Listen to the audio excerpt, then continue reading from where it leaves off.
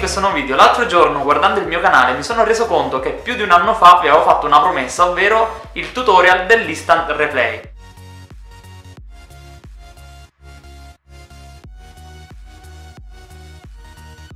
Ma anche se è passato molto tempo io mantengo sempre le mie promesse, per questo che oggi vi farò un tutorial di un instant replay molto figo, quindi non so se questo ripagherà l'attesa, ma vi lascio al tutorial.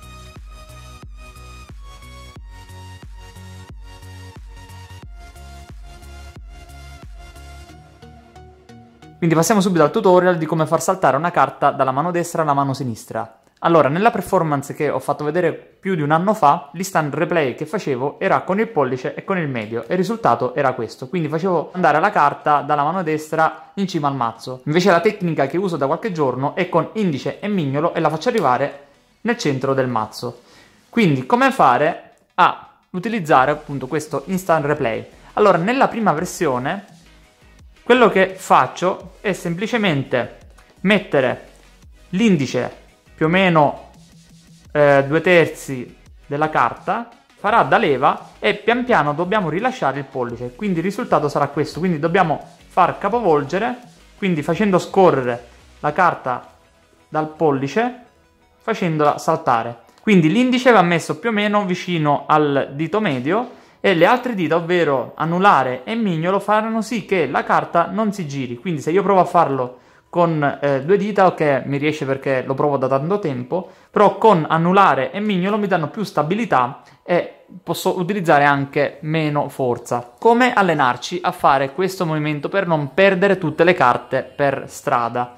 Quindi ho trovato quello che mi serviva. Allora, quello che dovete utilizzare è una tessera in plastica eh, una qualsiasi, tipo quelle per la spesa o il codice fiscale. Con una scheda vi potete allenare molto meglio perché potete eh, calibrare la forza e capire bene il movimento che dovete fare. Addirittura se mettete più forza potete fare, come avete visto adesso, il doppio giro. Quindi, in questo caso, vedi, doppio giro. Potete allenarvi con questa per evitare di distruggere le carte che vi cadono per eh, casa. Quindi Faccio rivedere il movimento con la tessera. Ok, forse così riesco a farvi capire meglio. Allora, dobbiamo spingere con l'indice esattamente con questa parte qui e assicurarci che nella parte sinistra, appunto, le dita aderiscono perfettamente alla carta. Dopodiché lasciamo con eh, il pollice e il risultato sarà questo. Quindi adesso invece come fare il flip con appunto indice e mignolo? Allora, quello che dobbiamo fare, quindi stiamo in questa posizione, possiamo far roteare la carta, oppure come ho fatto nella performance, ho fatto un bullet, poi la passate nella mano destra e da qui dobbiamo prendere la carta esattamente, quindi dobbiamo spostare la carta da verticale leggermente in orizzontale, quindi facciamo roteare la carta, quindi la, la spostiamo leggermente in orizzontale, quindi non completamente ma più o meno di 45 gradi, in maniera tale che quindi faccio vedere lentamente. Non appena la carta gira, possiamo posizionarcela esattamente fra mignolo, indice, dopodiché afferriamo la carta in questa maniera, quindi mignolo le due dita sotto che premono leggermente la carta e l'indice e posizioniamo la mano in questa posizione. Quindi faccio rivedere, giriamo la carta, la portiamo esattamente qui e poi siamo pronti per farla saltare. Quindi come farla inserire all'interno del mazzo? Allora, prendiamo la nostra carta, apriamo il mazzo di carte e la mettiamo all'interno, quindi servirà semplicemente dell'allenamento. Oppure se volete metterla in cima al mazzo potete metterla girata di faccia in questa maniera. Quindi all'interno del mazzo verrà un giro solamente, sopra il mazzo verrà un giro e mezzo, quindi potete vedere la carta di faccia. Quindi faccio rivedere bene eh, come si fa questo instant replay con indice e mignolo. Quindi, come nella prima tecnica, quello che dobbiamo fare è semplicemente una leva, quindi con...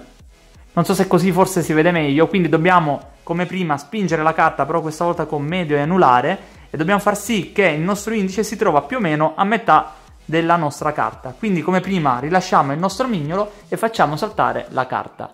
Quindi servirà solamente molto allenamento, vi consiglio di utilizzare delle carte leggermente più rigide e non delle carte troppo morbide, come per esempio le Tellio vanno benissimo, oppure come ho fatto vedere io prima, allenarvi con una tessera di plastica. Quindi spero che il video vi sia piaciuto e noi ci vediamo al prossimo video.